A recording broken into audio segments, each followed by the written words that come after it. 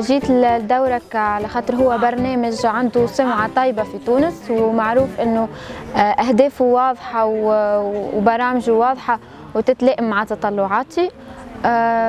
استفدت من التجربة هذه من المشاركة في برنامج دورك في الملتقى المغاربي هذايا من أجل الحوار حول التنمية المحلية لأنه قدم لي أفكار جديدة وخذيت تجارب من البلدان المجاورة المغاربية.